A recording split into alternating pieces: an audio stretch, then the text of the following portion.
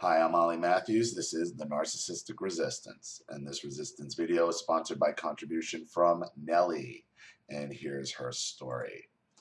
Hi, Ollie. What's your take on only children? I grew up as an only child and feel I yo-yoed between being made a golden child and a scapegoat. As a result, I think I have found an average, and I can relate to strangers in a normal way, but I also can switch cluster B behaviors and thoughts on and off basically at will.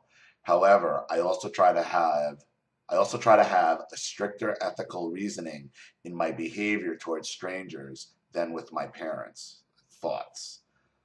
Only children, you know, you have basically only child entitlement where the reason you you treat strangers ethic more ethically than your parents is because in your mind and and we've talked because me me and Nellie Skype a lot. Um,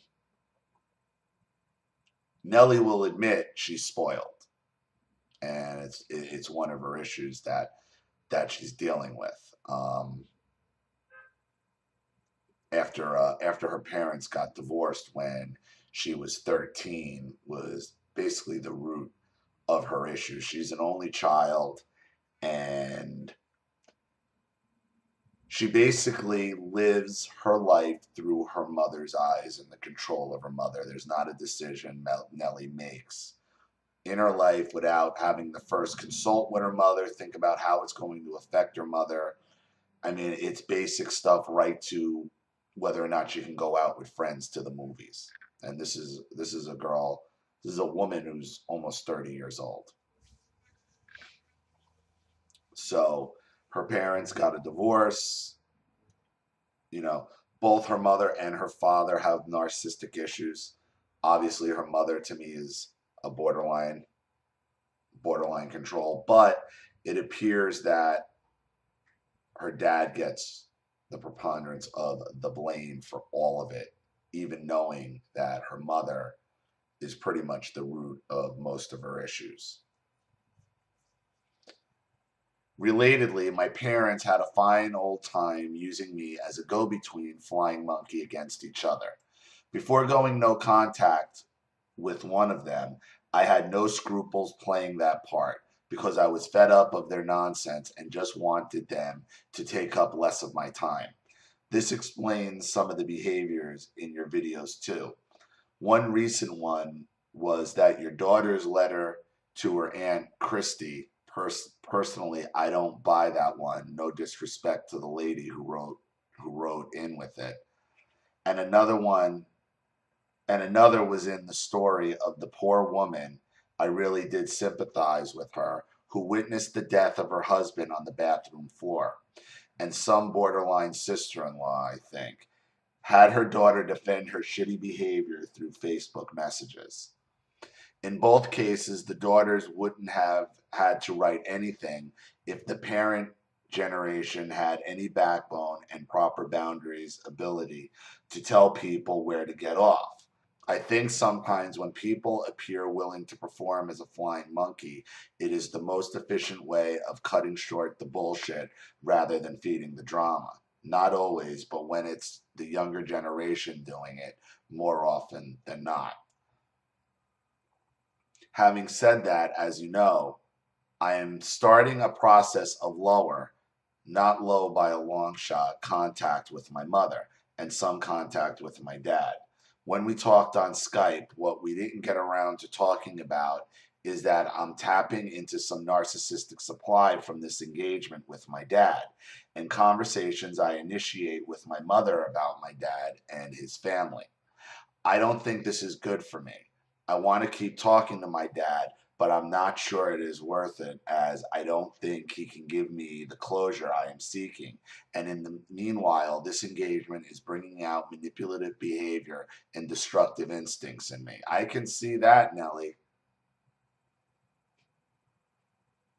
I can see that, Nellie. I issued him a niggle of guilt last week about a cat he didn't manage to keep. I never met the animal. This was with his new family. She's talking about her dad. Nothing to ruin nothing to ruin his day. but I timed it well and know he'd be a little distracted by it whenever he found himself at leisure. Subsequently, I had as much bounce and cheerfulness as a normal person as I went about my business for the rest of the day. Should I go back to no contact? And if I continue, what makes this relationship worth it? What is the experience of your subscribers in deciding and managing levels of contact with their nutty parents? I think as a result of the only child scapegoat development, I struggle to regulate my energy level and attention. Through my work with children, I observe that attention and engagement with, with, with tasks are an aspect of behavior that can be learned and improved, but I have found it hard to apply what I can do for other people to myself. In her videos, Charlene's attention has been discussed. I want to raise that topic again. What is your experience? What is what about other listeners, subscribers? Thanks, Nellie. Well, Nellie, you know, you're walking a very dangerous line here. And I kind of got into it with you the last time we Skype because you are very close to falling into line with your mother and being a borderline narcissist. I just got to lay that out there. The judgments you're making about, you know, people's stories on the channel, whether or not you, that is the same thing your mother does. That is the same thing you're talking about what your mother did to your father, your mother does to your boyfriend. So you're going to, and I, and I kind of told you this in a little bit of a different way yesterday, but I'm just going to tell you that you're at a, you're at a crossroad yourself, Nellie. You know this isn't right. This is damaging you. You know it. And you are at a crossroad. Either you are going to go the way of your mother because you're obviously taking on her manipulative tactics and deriving calculated supply from it. You're calculating timing of telling them this for maximum effect.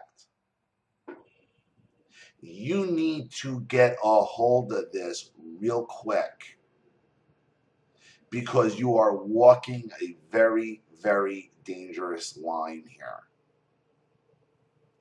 The same judgments you, you were complaining your mother making about you and your friends and your boyfriend and your life you're here doing the same thing to people whether you believe their stories or not on my channel.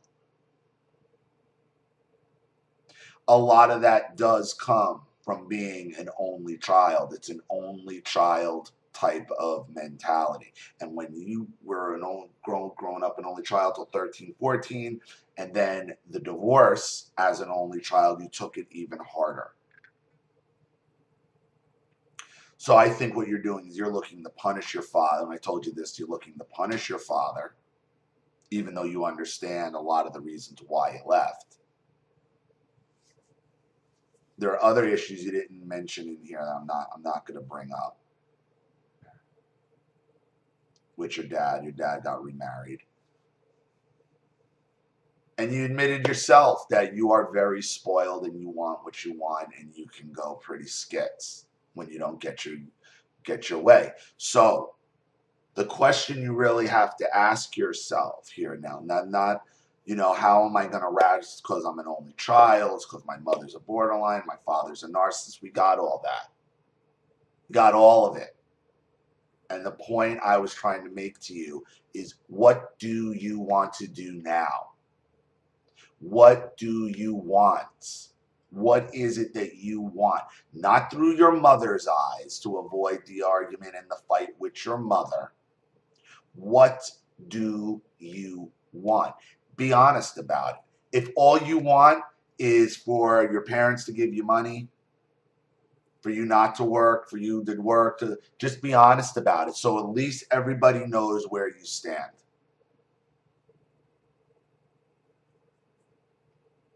Everybody needs to know where you stand so at least we know where the jump off point is. If you're miserable like this, living your life like this, and you're unhappy, Okay, you're at the you're at a crossroad here because you are dangerously close to just becoming a full-blown narcissist like your mother. Full-blown borderline, making the choice. So either you're going to go with it or you're going to say, you know what, I got to change this. I got to change this now. Whether or not you're an only child or not, yeah, it, it, plays a factor in it, but it can't be used as an excuse. And I'm not saying that's what you're doing, but I just want to make sure it isn't. Tapping into narcissist, using your father to tap into narcissistic supply is exactly right. It's detrimental, it's dangerous. And then what happens? What happens after that? Who do you move on to if you keep going? You just going to keep it up with him? Then what? What happens when he got when he dies? Because he's older. He had he got remarried later in life. Your parents were already married for 30 years, 35 years before they got divorced when you were 14. Then what are you going to do? You going to turn it on your half brother and sister? Is that what you want to do?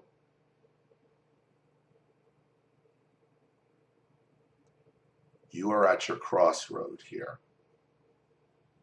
You're either going to become exactly like your mother or you are going to change your life. I, that's as honest as I can make it for you, Nellie. And we got into this on Skype. And I know you want to be called out, so there it is. And, you know, thank you again for coming to me and you know for your support and the story. I appreciate it. Thank you to everybody watching.